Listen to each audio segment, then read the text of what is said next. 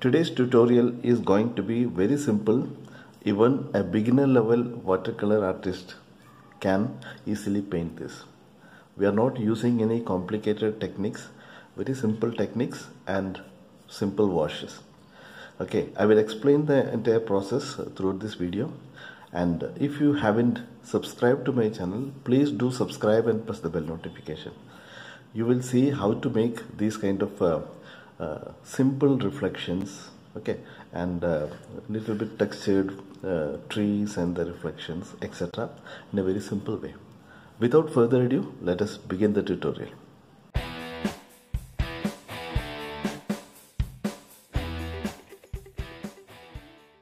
Today we are going to learn making reflections in water. So to make reflections possible what we need we need two things at least. One is we need water where the reflections will happen and we need elements objects above water so that they get reflected.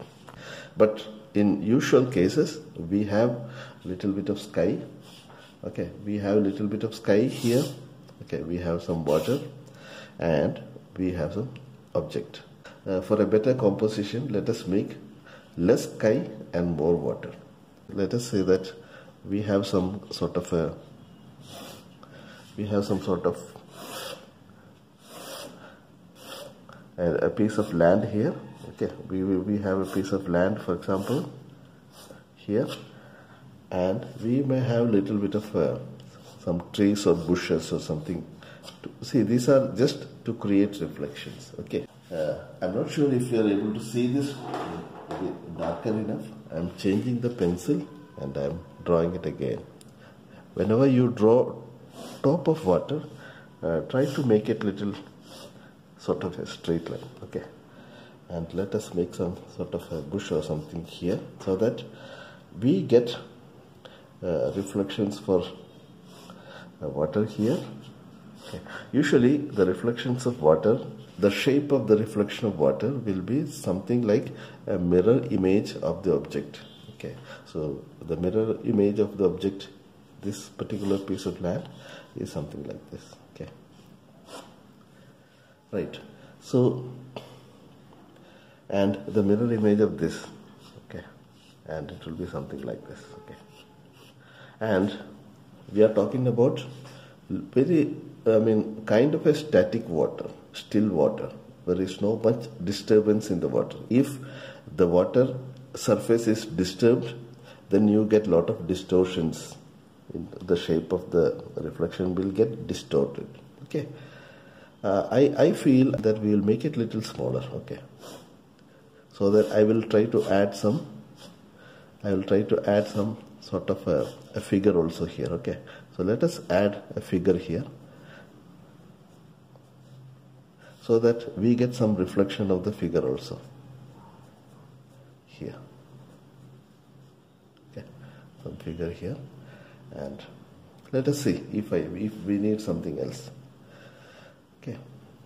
If we need maybe a boat here. If we need a boat here we can also keep a boat here. Okay. And we will get a reflection for the boat also we'll see. Eh, these are simple ideas. And let us make add little bit more depth by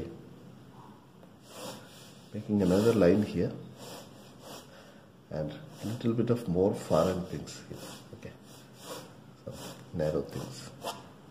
Okay. This is just the idea.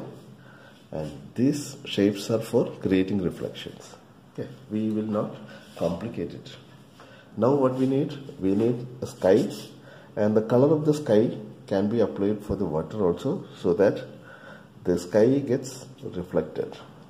I am using this this mop brush okay uh, and let us make some simple sky let us wet wet the paper okay so I am wetting the paper with plain water okay and let us let us continue this activity.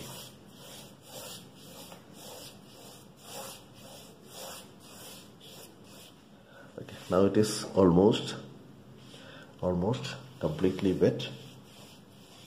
I'm doing it a second time just in case some of the areas are left untouched. For the sky color I am using some touch of uh, cerulean blue. Okay this is cerulean blue and maybe a touch of uh, ultramarine blue. Okay. and let us make it little strong colors. Okay. Some kind of a strong color. Maybe adding a touch of violet also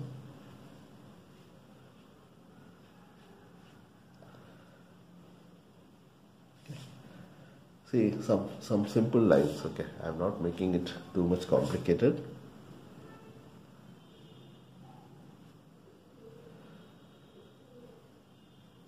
And let us uh, try to create a reflection for this. So this area is little purplish violetish. So this area will get little violetish okay. This area will get more violetish kind of a reflection. And and as it goes down it will be reflecting the top of the sky and it will be more bluish okay? So let us add similar kind of blue color cerulean blue and little bit of ultramarine blue. And let us make it like this okay and maybe a little bit more darker blue here.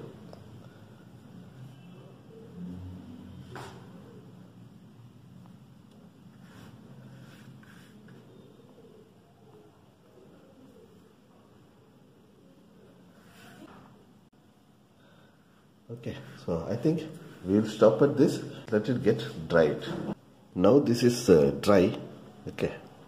Now we can continue with the objects first so if you have a proper drawing you can even do the reflection first and then draw the object correspondingly. Or you can draw the objects first and then draw the reflections for this portion I am using a little bit of a maybe burnt sienna here. A touch of burnt sienna. Maybe a touch of yellow ochre also. Let us see. This is a piece of land this particular area I am talking about.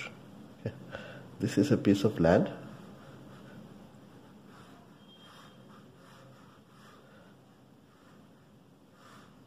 I'm not precisely following the uh, following the drawing. Okay.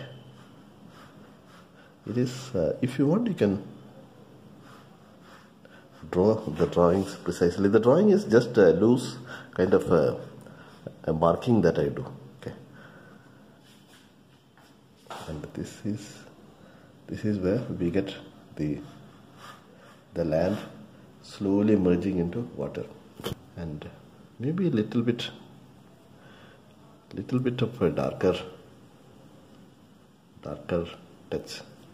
Burnt sienna and little bit of blue I am mixing. Burnt sienna and little bit of uh, ultramarine blue. Little darker versions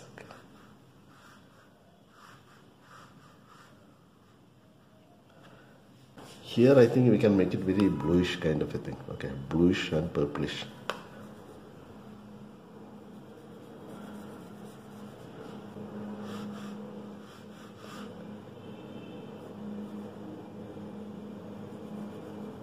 Very pale kind of very pale kind of a wash okay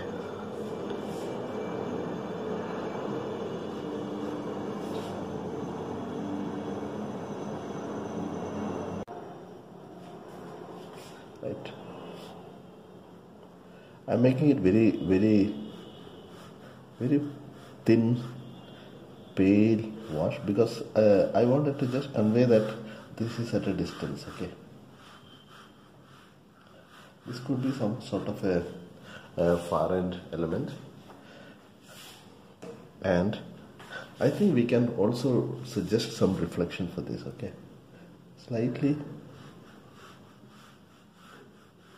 the reflection is kind of a mirror reflection. Here it is slightly raised, so here also let us raise it a little bit.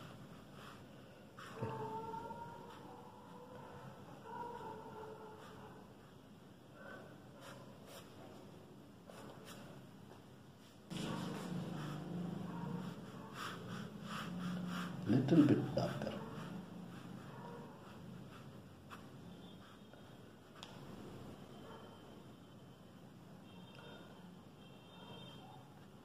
And let us now make the reflection for this. So the reflection for that can be again little bit of burnt sienna and maybe a touch of blue. Okay. again it is like the the shape is like that of the object above. Okay. Little bit of a shape change here and here it is. I don't know little raised. And maybe we'll cover it here also. And some reflection for this area also. Little bit of yellow ochre. I'm taking little bit of yellow ochre. Okay. Yellow ochre and maybe some sap green. Some uh, sap green. This is sap green. Sap green and yellow ochre. And maybe I'm just suggesting some some tree here okay? I'm hardly touching this area. I'm kind of uh, making some brushworks and I'm suggesting some tree some bushes here and let it be darker now adding more sap green and maybe more of ultramarine. Darker things. Darker things here.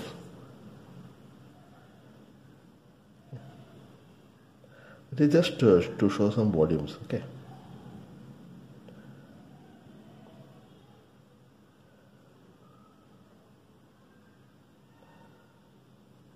as it comes below the, the amount of light hitting the bottom portion will be much lesser.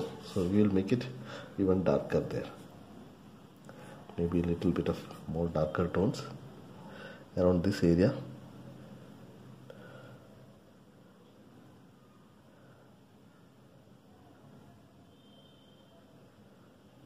Okay. just a touch of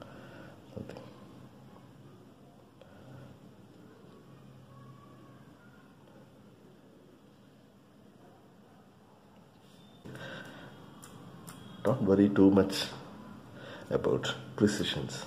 This being green i would ideally prefer red color there because it will it will uh, it, these are these colors are complementary and uh, it may look good there. I'm using little bit of uh, red color okay red color and maybe a touch of violet okay a reddish violet kind of a color and just uh, just a, a figure okay? Don't it is not very precise.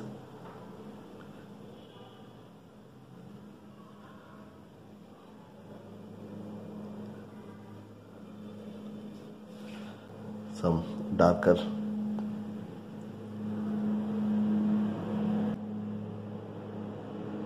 I'll use some red color for the boat okay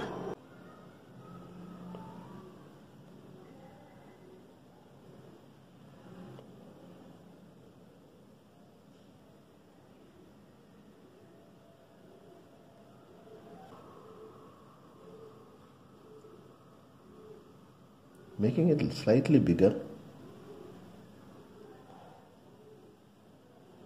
Now we need a reflection for this okay? So we have the reflection for the land we have the reflection for the faraway things we need reflection for the tree the figure and the boat. I will wet this area.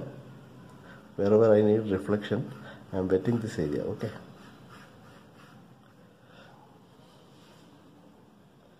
I am wetting this area and I am using the same sort of colors okay?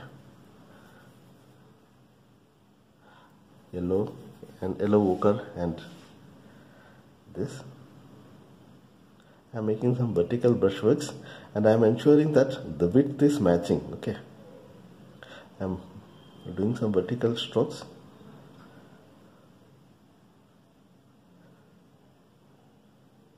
I think this should have been little bit more this area is not wet. I, I think we should have made it wet this area the bottom area. Anyway let us extend this now. I'm trying to create a mirror reflection of this shape okay? And it is not very precise. Okay. now what? We need darker color. More color little bit more bluish color. Ultramarine blue and sap green so that we get some color variations also.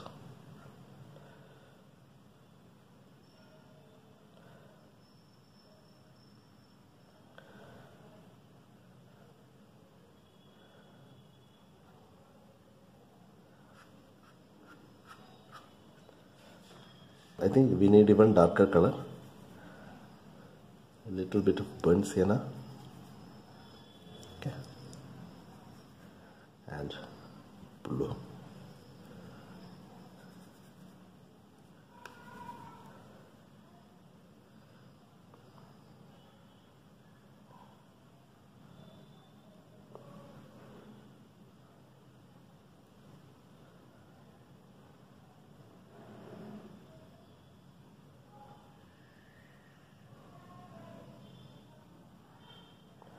I think our reflection went little bit uh, longer but it is okay.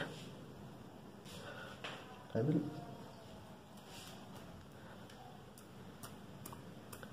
Sprinkle some water and some reflection for the figure.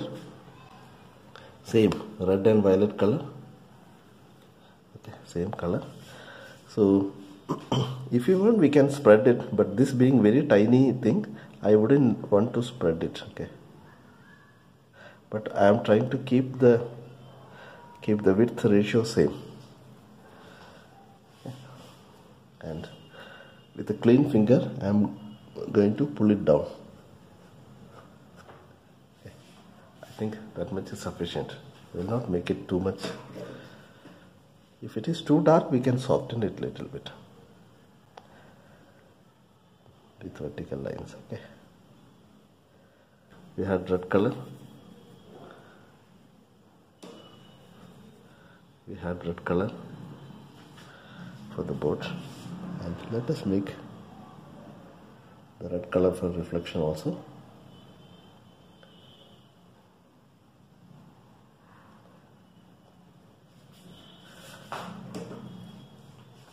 And I am with a damp brush I am softening it out. Okay and maybe I'm just pulling it down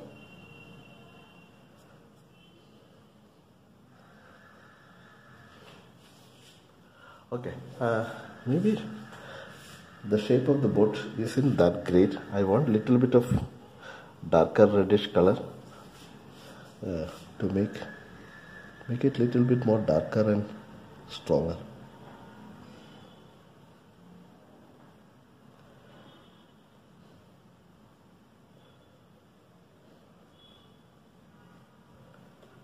Maybe something here okay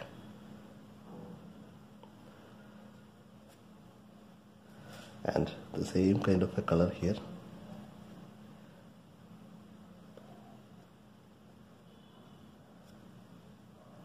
And little bit of reflection.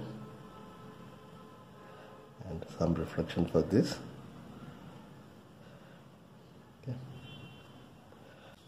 So for the figure I am using some thick orange color directly from the from the tube. I am picking it up and I am making this face maybe hand. Okay. See here it may not be required that such a reflection. Okay. And maybe I'll just add some orange lines here for highlights.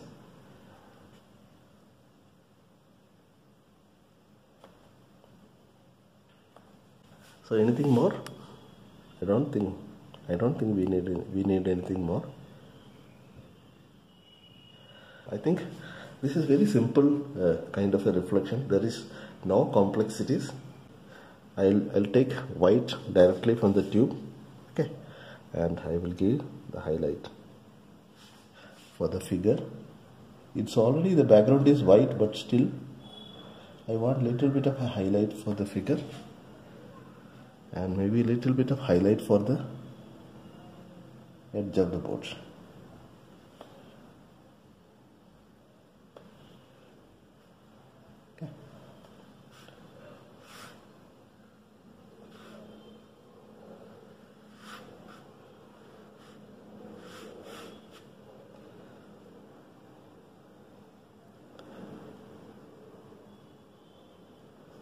white lines which might break some of these reflections okay?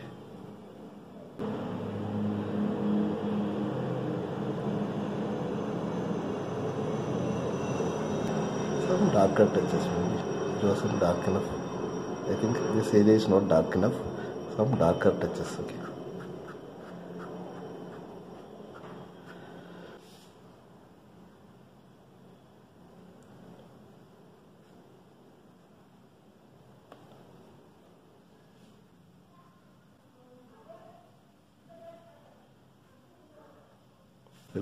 Out the tape. So now if you look at this is very simple subject, simple sky and simple reflections, simple tree, simple reflection, sim- uh, just a suggestive figure, reflection, very simple boat and the reflections. The consideration we made is that this should look like the mirror image. So this went slightly, I mean, taller, but I think it is okay. Sometimes the reflection gets much taller, sometimes the reflection gets, I mean, shorter. It's all it all depends upon our viewing angle. Okay, I personally feel it could have been slightly smaller. Okay, so thank you very much uh, for watching this video. I hope you could learn something about the behavior of reflections. Okay, please do practice, and if you have any questions, any suggestions, or feedback please do let me know in the comment box below. I'll be more than happy to come out with my answers. So thank you very much and we'll soon see you with another interesting tutorial simple and interesting tutorial. Okay. So thank you very much and happy painting